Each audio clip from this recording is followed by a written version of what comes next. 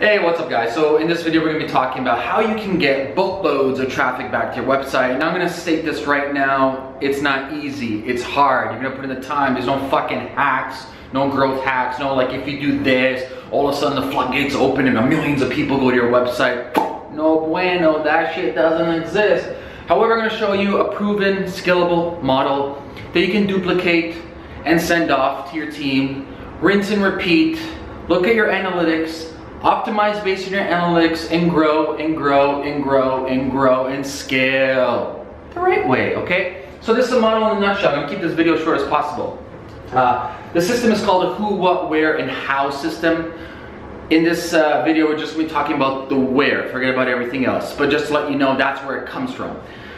So if we're looking at the whole model, most businesses, they will spend a lot of time focusing on their own platform. You wanna start off with a startup, you get your beautiful website, so you have your big website over here. You spend all this time and money creating content inside this website, right? So you put a money sign, and you go out, you're like, oh, look at my content on my website. You do some social media posts, do all this, you know, normal stuff, what they tell you to do, and guess what? Nothing happens. No one comes to your website because no one gives a shit about your company. No one cares about your brand. Yeah, you're nobody, okay? So this is what you need to do instead.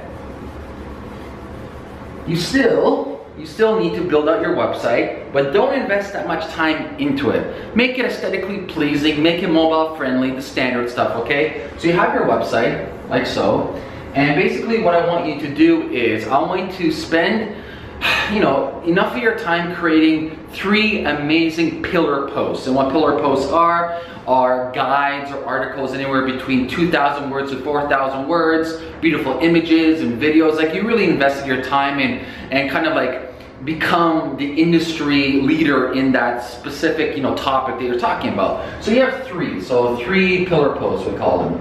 And, uh, you know, on average, you like spend anywhere between 500 to maybe 1,000 on a pillar post, maybe more, maybe less, I don't know, maybe do yourself. Nonetheless, you want three of them on your website and really be strategic. Uh, pick three topics in your industry. Let's say you're e-commerce, you have a, a product, maybe you're selling a pen, maybe talk about then like cost of business for an office, that's one. Maybe the second one is how to you know reduce overhead in your office. You get the gist of it. So three different topics within inside your industry and you create these pillar posts. None of these bullshit 500 word cheesy little dinky articles that I fucking hate, okay?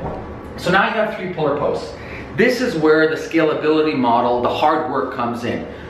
Remember what I said, nobody knows you exist. Your website is in ghost town. Remember the movie Field of Dreams? If you will build it, they will come. No one comes, no one cares about your fucking baseball field, okay? So basically what you need to do is this. You need to grab your Google Doc sheet and you're gonna, you're gonna do this. You're gonna have one section which is called uh, GP, another section which is called podcast, I don't know if you guys can see that. This is garbage. It's the worst marker I've ever seen. Maybe I should have a fucking marker business. So we're gonna have, uh, here. there we go. Uh, we're gonna have, yeah, that's better. GP and uh, podcast. Okay? And basically, what you're gonna do is GP stands for guest posts. You can use a tool like BuzzSumo, so this is what I do. I go to BuzzSumo, get the pro feature, trust me, don't chintz out on that free feature, pro feature, invest in proper fucking software. Go to BuzzSumo and type in the keywords for your business. So we're gonna still use the whole theme about the marker. I'm basically gonna type in the keyword startup. I'm gonna type in the word uh, maybe consumer product. I'm gonna type in the word maybe design. So figure out the main keywords in your niche of your business. And on side of BuzzSumo, there is a check mark for guest posts. You check that, only that, nothing else and it's gonna give you all these articles where people have guest posted. Holy shit, that's a fucking gold mine. So basically what you wanna do is you wanna uh, click the button on the right, it's gonna look for the most shares, so LinkedIn shares, Twitter shares, Facebook shares, and then basically go by one by one, every single one, and what I'm looking for is I'm looking for high domain website, north of 40 plus domain authority.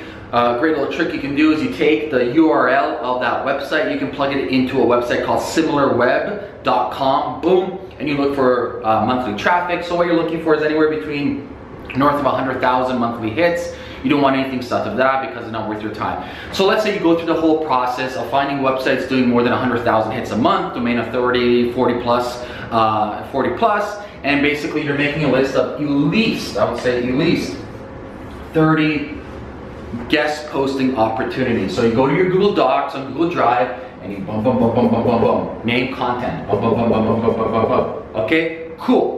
Now what you go is you do the podcast thing. So basically podcast is a little bit easier. You don't need any tools at all. You can go to Stitcher, you can go to iTunes, you can go to Google Play or Google Podcast, and basically you're looking at at least a top 40 in your niche. So let's type in, for example, once again with this, maybe entrepreneur, startup, marketing, consumer goods, etc. And basically you're looking for the top 40, you rip that data out, you go to Google Doc, and once again, guess what? Name contact, name contact, boom. That's your list, okay? And this is what you do. Let's start with the guest post. You go one by one and email them. And I usually like to ask permission-based marketing as opposed to just pitching them like, literally, this is all I do. Subject line, trying to connect, or to uh, name of the person. So let's say to Mike from Ameer. Are you accepting guest post question mark? End of fucking story. Literally more than 80% of the time they email me back what you got, what do you have in mind. That's permission-based marketing. Boom, open up the relationship and that's when you uh, sell them. So basically what you wanna do is, you know those three pillar posts that you had?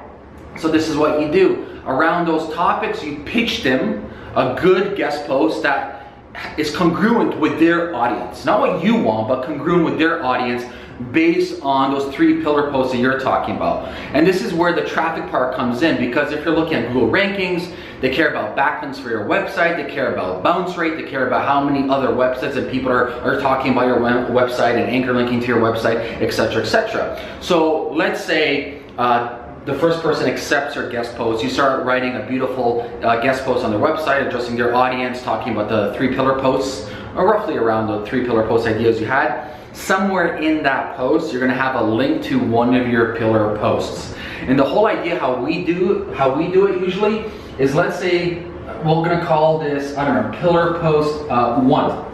So pillar post one is we have a campaign for each pillar post. So pillar post one is we're looking for roughly anywhere between five to 10 guest posting opportunities. And each of these guest posting opportunities, they have one link, so an anchor text based link back to pillar post one. More or less, you're creating an organic personal backlinking network as opposed to paying it and controlling your own. That's a whole different video. Uh, but this is an organic way, different websites, different websites, different websites. You have now exposure to their audience you're building links back to your um, pillar post, and that's it. Simple as that. So once you're done P1, go to P2, P3, you get the gist of it. So go down the whole list. You get ready for rejection, sure. Keep on moving forward, moving forward, and moving forward. The whole idea now, you're telling Google that you are a trustworthy website, that people deem you as an authority, and also you, you above all, you get fucking exposed to like mass amounts of audience. Like imagine you getting a guest post on like, I don't know, a website doing a million hits a month and then they put you on the front page. You can't buy that type of media, it's too expensive. You got it for free, you add value to their community, you get it back into your website, times that by five, six, seven, 10, 25. 25 guest posts. You do the math. It really does help your company. And this is scalable, quantifiable. You can look at your Google Analytics. You can see how many people are coming from every link, every post, bounce rate, etc., etc. Become very, become, you know, use math to your advantage. Uh, you know, I wasn't number friendly at the beginning. I realized how important numbers are. So really digging deep into your analytics and see what's happening, see what's going on, and then optimize from there.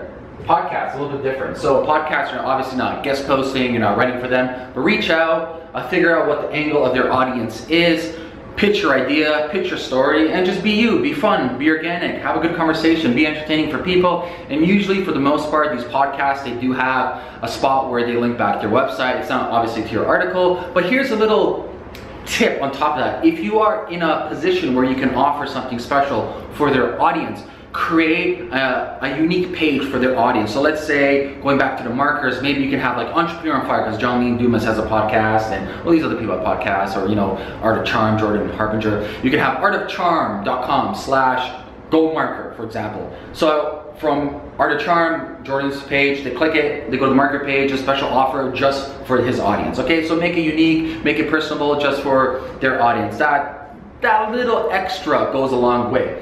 That's it. You go down the list, you finish that, bada bing. That's how you get traffic to your website.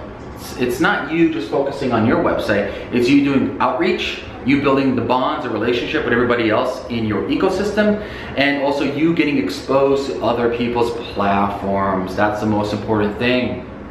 Your message, your brand, everything that you want to sell is now exposed on these platforms, have millions and millions of readers and followers and watchers. That's it. I'll leave you with that. You got a comment, comment below. I'll see you later. Peace.